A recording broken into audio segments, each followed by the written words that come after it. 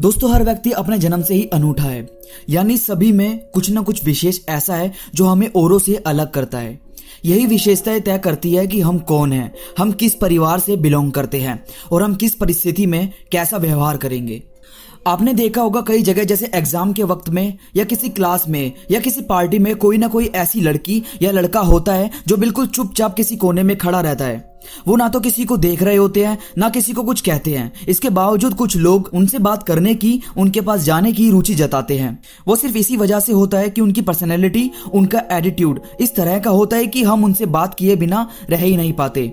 अब उसी पार्टी में या एग्ज़ाम हॉल में भी कोई ना कोई ऐसा भी होता है, जो होता तो शांत ही है पर हम उसकी तरफ़ देखते भी नहीं है। ऐसा क्यों होता है? ये सिर्फ़ और सिर्फ़ खूबसूरती अट्रैक्शन और एटीट्यूड का खेल है। और यही चीज़ मैं आपको समझाने वाला हूँ कि अपनी पर्सनैलिटी ऐसी कैसे बना सकते हो कि लोग तुम्हें पसंद करेंगे ही करेंगे। तुम अच्छा दिख कैसे सकते हो? कैसे कोई तुमसे बात करने में इंटरेस्ट दिखाएगा? ये बात जान लो कि अच्छा दिखना बहुत ज़रूरी है। एक एग्ज़ाम्पल देता हूँ। तुमने ब्रेड तो ज़रूर देखी होगी या खाई भी होगी सो में से 89 परसेंट लोग ब्रेड के पैकेट में से फ़र्स्ट ब्रेड, वो जो मोटे वाला ब्रेड होता है, वो हटा देते हैं। और उसके नीचे के ब्रेड खाते हैं, सिर्फ़ उसके अजीब दिखने की वजह से। ये दुनिया है साहब, अगर आपको अलग दिखना है तो आपको अलग बनना ही पड़ेगा। तो क्या है वो टिप्स, जो आपको अलग दिखाएँगे? चलिए शुरू करते हैं।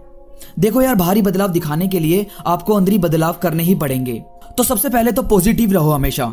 सिचुएशन कैसी भी हो, उसमें सिर पकड़कर बैठने की बजाय उससे बाहर आने की सोचो। बस ये सोचो कि मैं ये कर सकता हूँ और मैं ये ज़रूर करूँगा। अब ड्रेस हेयर स्टाइल और किसी ओकेशन पर जाने का ढंग आपको आना ही चाहिए। भाई ड्रेसिंग सेंस तो आपको होनी ही चाहिए। हम किसी लड़के या लड़की को पलट कर क्यों देखते हैं? सिर्फ़ उसके चलने और कपड़ों के ढंग से। यार, आप लाल पैंट और पीली शर्ट पहनकर निकलोगे और फिर ये सोचो कि मैं सबसे अलग दिख रहा हूँ तो ये नहीं हो पाएगा। किसी से फ़ैशन टिप्स लो या एक्टर और मॉडल्स के कपड़े देखो। किसी भी चीज़ को ज़बरदस्ती मत पहनो। टी शर्ट्स या शर्ट्स पहनो और फिर ये देखो कि आप पर सूट कर रही है या नहीं। शर्ट जींस टी शर्ट पहनने का ढंग देखो कि कहीं से शर्ट बाहर तो नहीं निकल रही है या ट्राउज़र ज़्यादा खुला तो नहीं है। जितना हो सके फिटिंग के कपड़े पहनो और जहाँ जा रहे हो उस हिसाब से कपड़े पहनो। बालों को फालतू कलर मत करवाओ नेचुरल रहने दो। चलो तो फेस को सामने या नीचे रखो। फालतू ताक जाक करते हुए मत चलो। किसी भी लड़के या लड़की को पलट कर मत देखो, ना ही कुछ कमेंट करो। इससे आपकी पर्सनैलिटी पर बहुत बुरा फ़र्क पड़ेगा।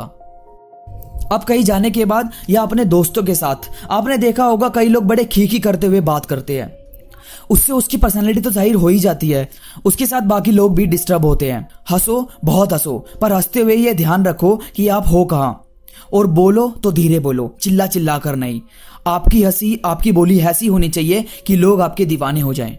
किसी से पहली बार मिल रहे हो तो जितना हो सके कम बोलो और चेप मत हो। दूरी बनाकर रखो थोड़ी सी। जो पूछो, वो प्यार से पूछो और जो सामने वाला पूछे, सिर्फ़ उसका जवाब दो। और ये ध्यान रखो कि आप चाहे जहाँ भी हो, आपके चेहरे पर एक पॉजिटिव स्माइल बनी रहनी चाहिए। इससे सामने वाला आपसे बात करने में इंटरेस्ट दिखाएगा। खुद को हमेशा कूल रखो। आप जिसे पसंद कर रहे हो, उसे स्पेशल फील करवाओ। कभी गुस्सा मत करो। अगर नाराज़गी जतानी है तो चुप्पी से जताओ। वो शख्स जिसे तुम पसंद कर रहे हो, अगर तुम्हारी खामोशी समझ रहा है तो वो भी तुम्हें पसंद करता है। और जो तुम्हारी खामोशी नहीं समझ रहा, उसके सामने बोलने से भी कोई फ़ायदा नहीं है। और लास्ट टिप्स ये है कि अपनी बॉडी लैंग्वेज पर तो स्पेशली ध्यान देना चाहिए। यार आपके बोलने का, उठने का, बैठने का तरीका आपके व्यक्तित्व, यानी आपकी पर्सनैलिटी को दिखाएगा। खुद के अंदर झाको। अगर आप इंग्लिश या कोई भी लैंग्वेज बोलने में हड़बड़ाते हो या क्लियर नहीं बोल पाते तो उसे दूसरों के सामने इस्तेमाल ही मत करो, क्योंकि दूसरों को सिर्फ़ हँसी उड़ाने का बहाना चाहिए। तो वो बहाना उन्हें दो ही मत। ऐसी चीज़ों की प्रैक्टिस आप सिर्फ़ अकेले में ही करो। तो यार इस वीडियो में इतना ही। अगर आपको पर्सनालिटी डेवलपमेंट पर और वीडियोस चाहिए तो प्लीज़ मुझे ज़रूर बताना और इस वीडियो को लाइक कमेंट शेयर करना मत भूलना। तो अभी के लिए बस इतना ही। मिलते हैं नेक्स्ट वीडियो में। तब तक के लिए धन्यवाद।